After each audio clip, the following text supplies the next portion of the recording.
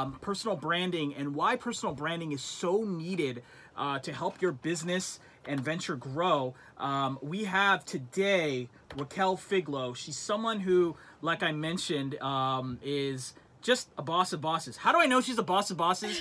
Usually, when I have guests, they have one mic attached to them, like I have. She just naturally has two mics to her. No, keep it. You're a boss lady. It's all good. I just love this, and I haven't. You all haven't seen her yet on the live feed, but you'll see what I'm talking about. It's just such a testament to the the confidence that she has. She's like this bull that just charges, but is also kind and also has this like like um, you know beautiful energy to her. But she just gets stuff done, and so I want us to all learn from her. And in one sec, let's get her on. But so, what's going on, girl? How you doing? For that intro, I'm doing fabulous. Happy New Year, everyone. Happy New Year, Ash. Thank you. So tell us quickly in like two minutes or less, because we have a lot to talk about. Sure. Your back. How did you become a publicist? Um, you mean Orange County's rock and roll publicist? Heck yes. Which was uh, just debuted last week, right after Christmas. um, so I started off um, at Cal State Fullerton, get an education in communications, and since it's so broad, I mean, you really have to kind of discover what you're good at, and um, you know, just over over time, um, it developed from marketing to event planning to public relations, doing all of it, and now like pretty much just doing PR and branding for companies because it's so important to, you know, show what you're all what you're all about on these social media platforms, and as well get press for it. So it really works hand in hand. But um, Okay. yeah, PR is fun. I love it. So what would you define PR as for someone who's new to that world? I, I love these questions. Yeah, um, I mean, PR is basically, you know, if you're, it's just study, it's brand awareness. And you learn that in communications, you learn that in marketing, and now it's become such a trend, you know, um, branding and your personal brand. But this is stuff, I mean, I learned, wow, like, what, 20 years ago now? and uh, um, it's just so important today, and I'm, and I'm so glad and so happy it is because it's, you know, really important for people to get to know you as a person. And PR, people hire me because I like to say I'm their cheerleader. I'm the person that goes out there and makes sure that you're getting noticed, that your brand is getting the attention it deserves. I love that. Um, how has actually this is a common question I've heard from our from some show guests. What's the difference between hiring an advertising agency and a PR agency? Uh, the difference is, uh, well, one, I mean, buying an ad could be, you know, thousands of dollars, just like PR, but PR is more of a bigger reach. Cool. And also, when you buy an ad in a magazine, yes, you might be, um, you know, focused uh, in, in like a certain demographic, certain people, but you're not too sure who's really reading it. So if you have a wider net, you work with me for a month for a retainer fee, and I reach out to not only let's say if you're a you know female businesswoman and you sell socks not only am i sell, not only am i reaching out to companies that are like i'm or sorry media that are all about socks. Right, right, right. or ki- um, you know families. I'm also reaching out to entrepreneurs and how they started that business and reaching out to podcasts and radio shows like yourself. Because being a female business owner i mean it's so much more than just what you're selling. It's you as a person. Now, you, you I think you know me. I'm very I have very uh, blunt, real spiritual talks with you, and so I, I have to ask you this. And the way my brain works when I hear these shows is I sometimes get triggered by statements that I want to ask you something back. Not triggered in a bad way, just triggered like in a curious way.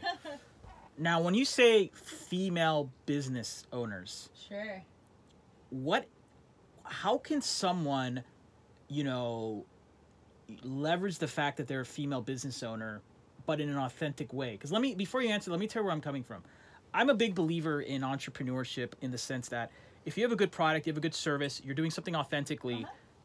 you need to be successful you need to crush it your customers will say what you need to say but whenever someone says in the beginning and you haven't but i'm just saying when someone says hey I'm a you know minority owned business, or I'm a female owned business, or I'm a Indian owned business, or something like that. Uh, how do you know if they're leveraging that for they're truly just a good business that's using that as an accolade, or they're ones that are just taking advantage of that title because of their born, you know, ethnicity or j- uh, you know male female sex whatever.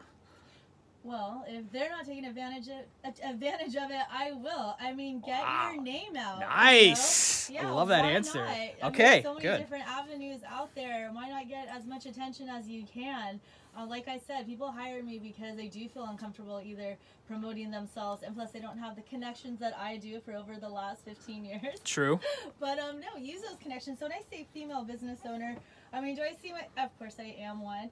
Um, have I used that a little? Ju- You know, being in the industry for so long, I've been able to get attention just for my business. But yeah, if they're female, I'm gonna go after podcasts that focus on females that you know are um, that uh, overcome obstacles. For example, there's this podcast called the Blonde Bombshell Podcast that I've gotten a lot of clients on. Nice. Um, shout out to Stacy and Megan over at the Blonde Bombshell. Um, a lot of my um, clients like to be on that show because it's the females. If there's a struggle, great, let's talk about it. Or just, it's just, it's okay. It's okay now to use that. It's okay if um, if you have an Indian-owned business. I mean, I'm sure you know um, different ethnicities have their own radio stations. Correct, they do. I can always go out and reach out to them. I like doing that. Um, I'm not shy.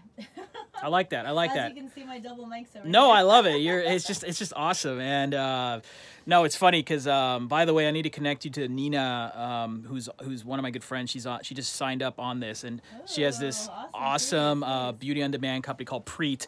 And yeah, it's really it's just because I when I said the word boss lady, she just magically appeared and she's someone I would consider one. So um okay, so let's talk about that specific media and then we're gonna get into the the main topic about, you know, how personal branding can help a company owner or founder um, make more success with their business. What's your take for 2019 on the different types of media? Like, when does it make sense to do like a TV promo versus a podcast one or written? Because I have a bias. I I naturally because I'm a radio host. I understand the power of what radio can do. I understand the power of what podcasts can do. I've been on probably over a hundred podcasts. I've mm-hmm. been on TV, and I have my own opinion on the value of all of them can bring. But Sure. you're someone who does this for a living, where you place people and you you strategize with them. What's your take on the three? Um, so The publicist that I mean I realize I mean I love the underdog or the entrepreneur or you know the business owner and getting them exposure. Um, to me that's really fun, and I it's like it pulls at a heartstring. You know I want to see people succeed, and I'm and I'm really good at getting people coverage. Now you might be on t- um, television or you might have been in Forbes or all these great Yeah. um, you know outlets, but you want and then you have these clients that want to be on Good Morning America, which is great, and and you know it's all about that person being persistent and getting you there. But let's not in, forget those in between. Like even now, live broadcasts are huge. Why? Because you can watch it on repeat. Like I now I could use this video, thank you Ash, to go and put it on my Facebook, on my Instagram, and so it's gonna Very get true. bigger reach. So when you get on when you get someone on television which is awesome and, and great for someone's career you're only like pretty much targeting whoever's watching that morning show. And who's really watching it now? It might have been great what 10 years ago um, when you know stay at home moms or i mean i don't know just whoever's watching it but people are on their cell phones so let's use social media and let's get you on those podcasts what if it's like 10 dedicated people who you know are all about like i mentioned earlier socks and you're on the right podcast that maybe only has a reach of like 2000 but those people go and buy your socks compared to being on good morning america you know like you- I get what you're saying. Yeah, Yeah. yeah, yeah. I like that. So, you're saying targeted targeted media is the way to go right now. targeted media but um you know target yes targeted media and go after um, those podcasts and, and those facebook live shows that are going on now Okay. now, now don't you know you know what you actually know when it when something's a waste of time or not so i, I bring everything i bring things up to my clients like should we if they want to do this or not but um So that's let me ask you another question then. When we talk about if it's working or not, that's what we call metrics. What is how what are the different kinds of metrics that one should know? Assume someone is looking to hire a publicist, whether it's you or someone else. What are the things that a publicist should tell them like is it just listen, you should focus on product sales, you shouldn't focus on impressions.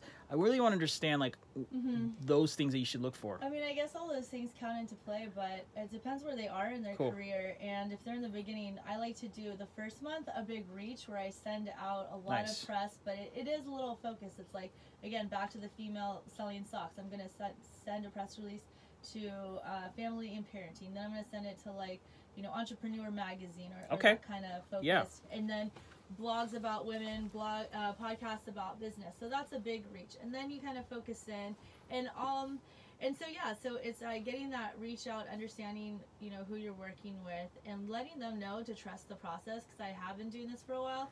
And for a person who's looking for a publicist, go to their website and see who Yeah. their clients are. See, read those testimonials. I tell all my clients, post your testimonials. If people are saying great things about you, you need to post them everywhere. You know, I started doing that, and I've seriously blown up in the last couple of years because of it. So let's actually talk about that. I'm one thing I'm really impressed with you is that you have a passion for music, specifically Heavy metal. heavy metal. I mean, look at your outfit. People are seeing her. This jacket is just so bomb diggity. It's it's this jacket. It is. It's awesome. It's from Topshop, which you buy at Nordstrom's. I love Nordstrom's, by the way.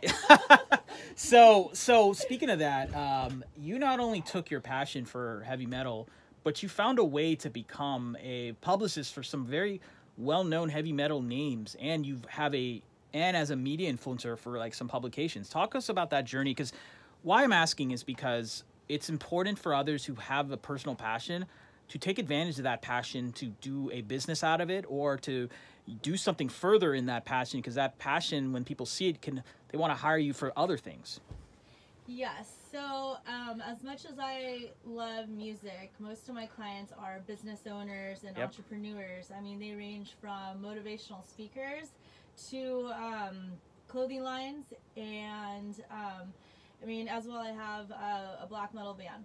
Um, but the way I've been able to leverage my names like so wide and be able to be known as the rock and roll publicist that gets rockin' results is because you have to you make posts you build your brand uh, but you also, you also have to live it breathe it and, and speak it. So i write for rock and roll industries magazine and i interview the biggest bands in hard rock and heavy metal.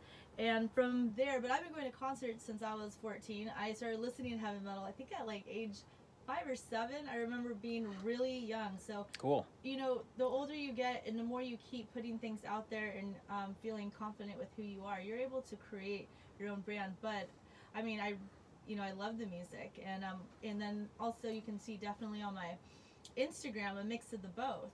And so I even write publicist by day and metalhead by night, and Yeah. you know, and um, that really really helps out. So. Um, because of going to shows, I was able to be the uh, I reached out to you know some celebrities like Jim Florentine earlier last year around this time. I had his book come out. He's a comedian and was also on that sh- um, show, that metal show. And um, I was just like, hey, you know, I would love to do your PR for your new book. And he was like, yeah, because he knew me, so I'd be going to shows, and, and you know, he trusted me, and he actually he invested in me and believed in me, and we knocked it out of the park because of um, the music and you know him um, and what I'm able to do, I'm very persistent when I work with any client. I give everybody the same amount of attention. I was able to call KLOS, get them on Jonesy's Jukebox, um, did an interview there, and a, and a couple other like well-known Okay. podcasts.